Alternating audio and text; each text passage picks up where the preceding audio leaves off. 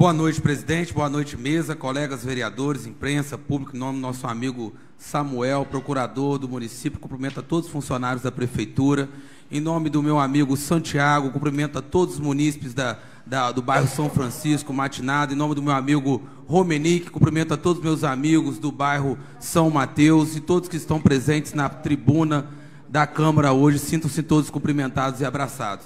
Presidente, o que me traz à tribuna hoje é uma indicação muito importante, haja vista que o prefeito no, Alfredão nos convocou é, para uma reunião na, na Secretaria de Indústria e Comércio, e estava lá presente o, o secretário Navega, e o Alfredão deu uma incumbência, uma missão para aquela secretaria naquele momento, que foi de criar, construir o condomínio industrial de Itaperuna, para que Itaperuna possa gerar emprego, gerar renda, para que as pessoas não fiquem é, dependentes somente de prefeitura, dependentes de empregos que, que ali paliativo, e sim empregos, trabalhos e renda, trabalho e renda de verdade para a nossa população. Quando a gente gera emprego, Rael, amigo ali do, do Carula, quando a gente gera, gera emprego, Rael, a gente gera, faz com que a nossa economia gire, faz com que a nossa economia funcione e as pessoas de bem possam trabalhar em nossa cidade. Então o prefeito passou essa missão e nós vamos trabalhar firme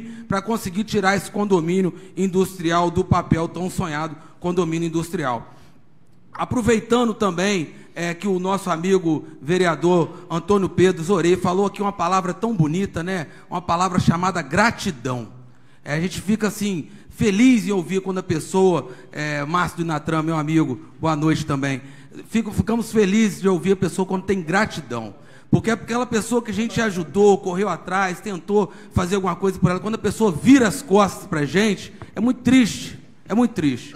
Então aí a gente continua trabalhando, continua se esforçando. Eu vendo aqui meu amigo Santiago, eu lembro quando ele me levou ali na quadra do colégio Oscar Jerônimo. Aquele colégio assim, não tinha um aspecto nem de colégio. Tinha um cavalo dentro da quadra. E nós chegamos ali, eu levei até o Santiago até o prefeito da época, e em pouco tempo, o Colégio Oscar Jerônimo foi pintado, a quadra foi pintada, o, o, a, a quadra teve uma cobertura com iluminação nova.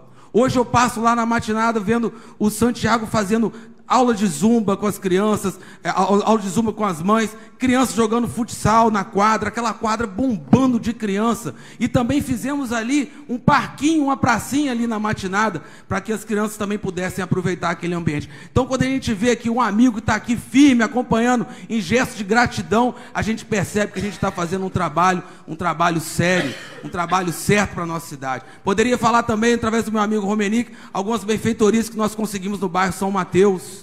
Levamos para lá uma UBS nova. A UBS parecia uma garagem de carro, onde entulhava carro. Parecia isso. E hoje a UBS do São Mateus dá dignidade aos moradores, médicos bons, funcionários trabalhando de forma para atender o povo do São Mateus. Vendo aqui também o meu amigo Rafael, filho do Zico, lá da SEAB. Lembrei aqui de algumas coisas que nós podemos produzir na SEAB Picolé.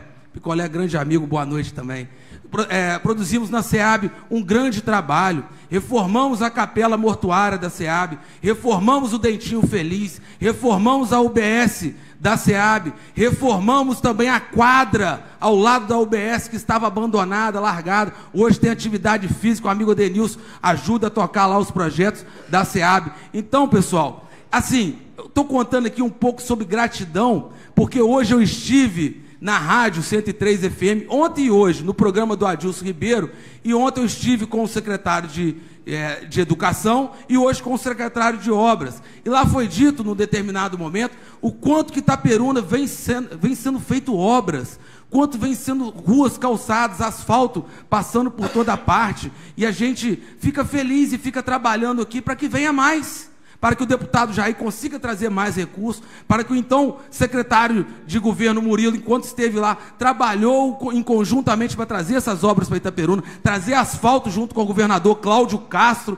Esse sim é o governador que vai mandar a lâmpada de LED para a nossa cidade ficar bem iluminada nos bairros, no Matadouro, no aeroporto, na Matinada, no Carula, distritos, os distritos de Itaperuna, Raposo, Retiro, Venâncio, Aré, Penha, Boa Ventura, Todos os locais de Itaperuna precisam da atenção do poder público e precisam que a Câmara de Vereadores trabalhe unida, de forma é, é, harmoniosa, sem ser superveniente mas com paz no coração, e é o que nós todos aqui estamos trabalhando, com paz no coração e querendo o melhor para Itaperuna. Se Deus quiser, Itaperuna vai avançar. Estamos fechando aqui o último dia do semestre do ano e vamos fechar aqui com muito trabalho e muito amor que nós temos para a nossa cidade de Itaperuna. Essa é a minha mensagem de hoje. Tenham todos uma boa noite. Muito obrigado.